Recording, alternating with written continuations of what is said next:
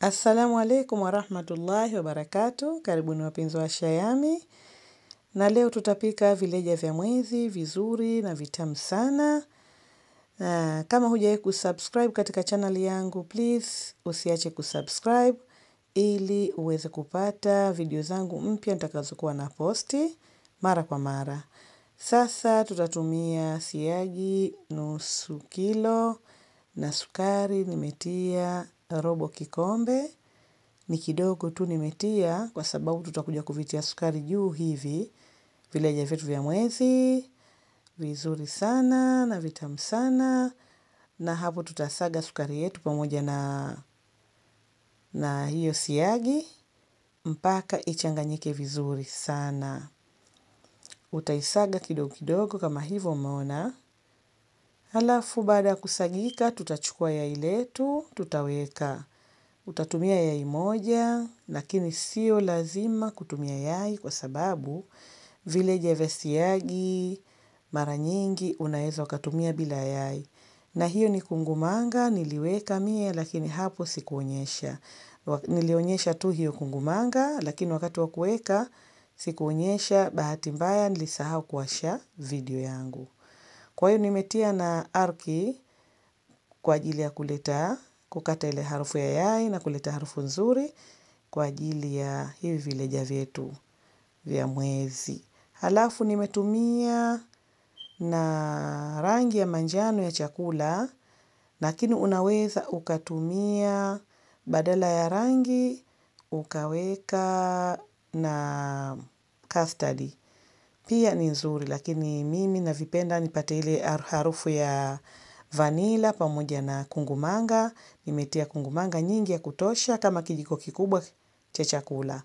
Ili kupata ile harufu na ambayo, nimetaka katika hiyo vileja vyangu hivyo. Nimetumia unga vikombe vitatu, kwa hiyo hapo natia kidogo kidogo vikombe viwili, mwisho nitaweka kikombe kimoja. Kwa hiyo kumbuka hapo nimetumia siagi nusu, nimetumia sukari robo kikombe, si lazima kutia sukari kwa sababu utakuja kutia sukari mwisho kama nilivyosema. Halafu unaweza ukatumia custard lakini kama hupendi custard au kubadilisha ladha, unaweza kutumia arki kama mimi na ukaweka hivi vinapendeza utie na kungumanga lakini kama hupendi pia sio lazima.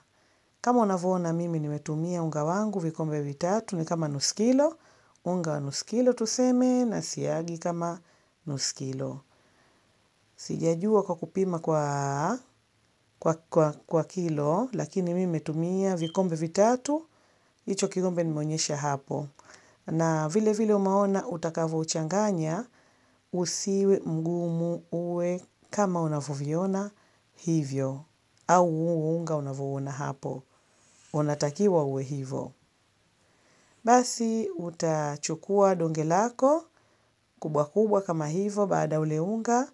Mimi niliuwacha kama dakika ishirini. Halafu ndo ukajishika kidogo nikaanza kusukuma kama hivo.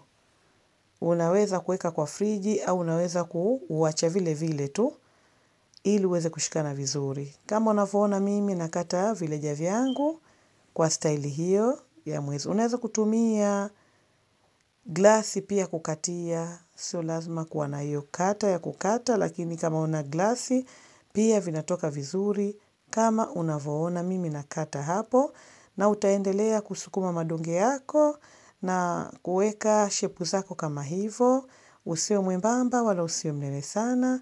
Baada ya kukatakata, vimebakia bakia kama hivo, unakusanya tena unga wote ambao umebakia, unasukuma tena na hapo nimemaliza kuvikata mashallah kama unavyoviona. Nimeweka kwenye tray kwa hiyo tutaenda kuvichoma hivi vileja vyetu vya mwezi. Jamani ni vizuri na usiache kupika katika idi yako ya sikukuu kama hiyo, basi utaenjoy na watoto wako na wageni. Mashallah nimevichoma na vimeiva vizuri mashallah kama unavyoviona. Kwa hiyo mimi nimetia na sukari ya kusaga mimi, nimechanganya na sukari ya kusaga, baada ya kukitoa, kikapoa halafu nikakichovya sukari. Kama unavyoona mashallah viko vizuri sana na vimeiva vizuri. Basi kama hujawahi kusubscribe, usiache kusubscribe na kama umependa usiache kulike.